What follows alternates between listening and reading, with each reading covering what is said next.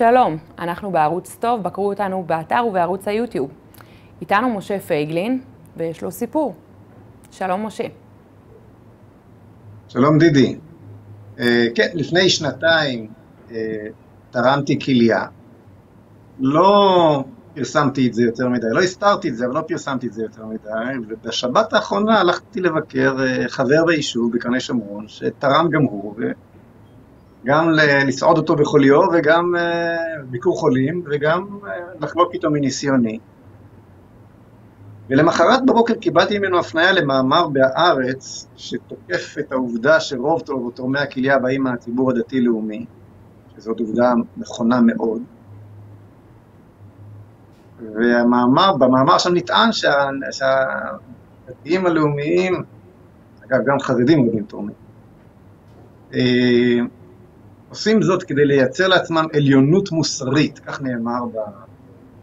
ב באותו מאמר. אני לא ידעתי שהמאמר הזה כבר פורסם מלפני שנה, חשבתי שהוא פורסם ממש עכשיו, וברוב זעמי הגבתי מיד באינטרנט, אני אמרתי אה, בפייסבוק, כתבתי, אני לא תרמתי כליה כדי לייצר לעצמי עליונות מוסרית, אני תרמתי כליה כדי לקיים, כל המקיים נפש אחת מישראל, כאילו קיים עולם מלא.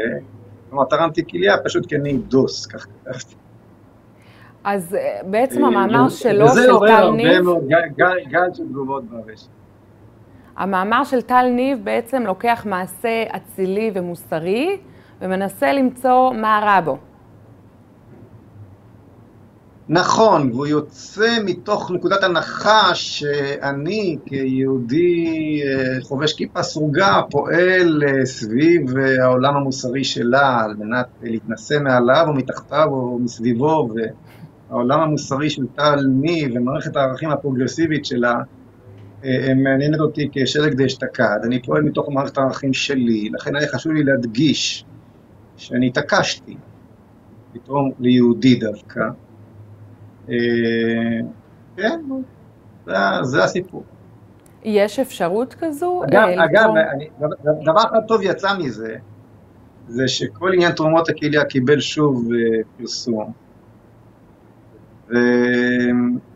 בין אלפי התגובות שקיבלתי, ישנם גם כאלה שמחכים וזקוקים לכליה, ואני קורא מכאן שוב, מדובר בהצלת נפשות של ממש. אפשר, כל מי שרוצה לעשות לעשות את זה, ואני מאוד מאוד מאוד ממליץ.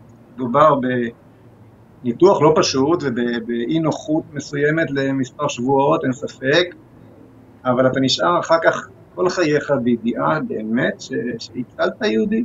אתה יהודי, קיימת נפש אחת מישראל, ואיזה סיפוק אדיר. אני שואלת שוב, אפשר לקבוע למי התרומה תלך? אז זהו, שקיימת uh, עמותת מתנת חיים.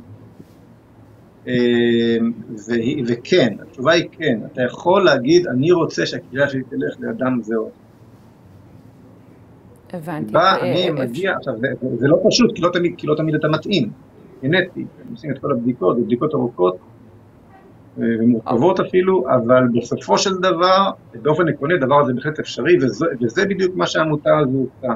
תקחו איתה קשר ותמשיכו הלאה. טוב, יש גם אפשרות של תרומה בהצלבה. ישראל נמצאת אגב במקום הראשון בעולם, מה שאני כותב אותה, ישראל נמצאת היום במקום הראשון בעולם בתרומות כליה. באמת. ומן החי, מה שנקרא, כן? כלומר, בהתנדבות, באופן אלטרואיסטי, תרומות חסד. אה, של אנשים חיים, ישראל במקום הראשון בעולם, זה דבר יפהפה, mm, והזכות הזאת של מדינת ישראל שייכת רובה הגדול לציבור הדתי-לאומי, ייאמר לשבחו שפה האיכות המיוחדת שלו, של האחריות הכוללת לגורלו של עם ישראל, באה לידי ביטוי יפה מאוד. היישוב שיש בו הכי הרבה תורמי כליה בארץ, הוא גם היישוב הכי מושמץ בארץ, כלומר יצהר. אה, גם הציבור החרדי, באים מתוכו תורמים רבים, ופה ושם אפשר גם לראות כמה חילונים שם. אוקיי. okay. אה, uh, טוב, קודם כל, כל הכבוד על המעשה האצילי הזה. Uh, באמת uh, מדהים לראות כל פעם, uh, uh, אנשים שכותבים בהארץ, כנראה יש להם איזו תפיסה שאני מתקשה להבין מאיפה מוצאים מניעים אפלים תמיד גם למעשה טוב.